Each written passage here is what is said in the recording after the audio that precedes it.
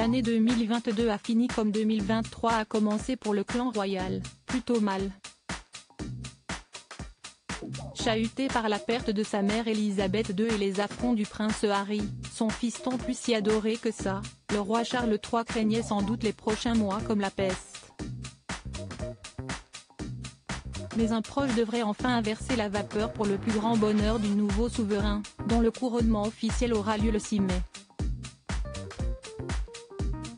Hélène Lasselle, cousine de Charles, va épouser sa moitié.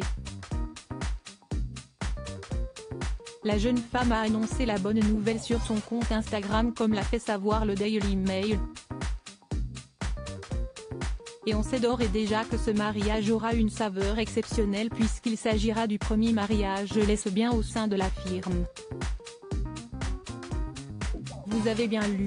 Hélène Lasselle s'apprête à dire oui à sa compagne Chantel McPherson, le jour de l'âne, Chan m'a demandé de l'épouser. Elle, a transformé ce qui était une année 2022 incroyable en une année 2023 encore plus incroyable a-t-elle écrit. La date n'est pas encore connue mais si le roi Charles ne pouvait pas faire le déplacement, difficile de ne pas l'imaginer lui souhaiter le meilleur pour cette union avec sa douce et une longue vie sur la route de l'amour. S'il s'agira du premier mariage entre deux femmes, il ne s'agit pas du premier mariage homosexuel.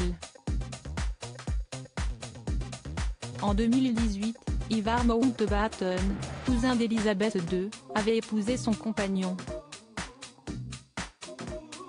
Comme quoi, les Windsor ne sont pas aussi intolérants que certains le prétendent.